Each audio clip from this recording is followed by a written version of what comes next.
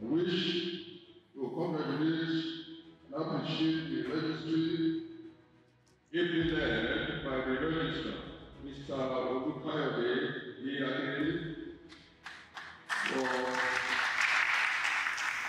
the continuity putting together these annual series of lectures and the regular seminars by the department.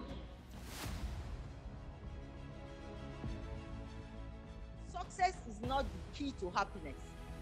Happiness is the key to success. They say anyhow that when you delegate responsibility, you don't delegate accountability. So you make sure that you're accountable. I will not work with anybody who is not ambitious. You can't give um, your throne to somebody who doesn't even desire it. If God wants all of us to be the same, He will not create us differently. Diversity. When people come from various places, they bring various ideas. And when we put all the ideas together, what happens? decisions are daily being made about us.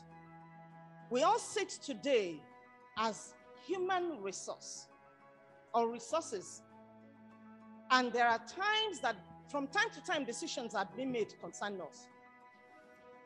Right from the time of recruitment, like we have had severally today, a decision was made. What brought me here today is a symbol of relationship. Relationship can make a lot of difference to our work.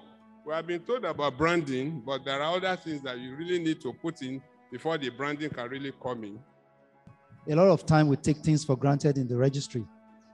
Work, work, work without taking time to re energize ourselves, to retreats, and uh, create time to know these latest developments. So le- leaders, good leaders, effective leaders must be what? They must be good listeners. Ask your followers, how are you performing? Re- researchers have shown that simple act of smiling causes your brain to release a, a stream of what? Chemicals that make you feel good. If you don't learn how to follow people, there is no way you will be a good leader.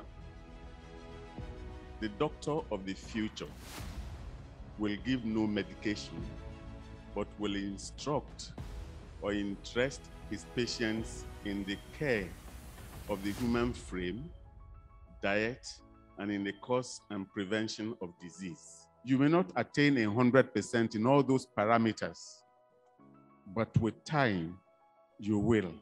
If we have administrators who have gone extra mile to develop themselves and att- attend different trainings, not only in their areas, but in other areas that have to do with university business, they'll be able to make policy suggestions.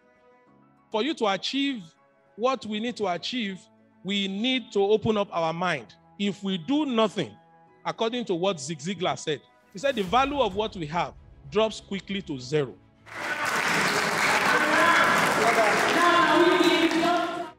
The universe in the university means that we should not think that even what we'll be talking about in here in respect of Nigeria, that is only probably common to Nigeria.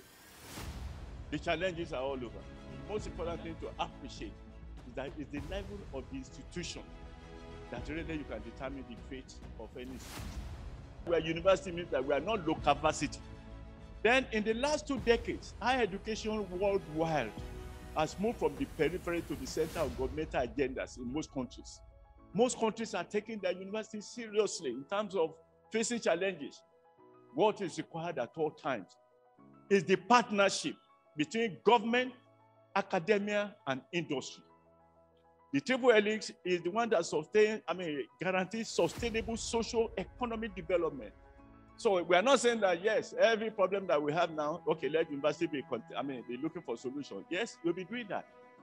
But not only that, you must also be going beyond that. And what we mean by that is that we need to promote both basic and applied research. Applied means you are trying to solve an immediate problem. Basic means that you are doing it, you don't even know where it will end. You don't even know what the usefulness is. And then also that we in the university, we must be aware of what do they need out there.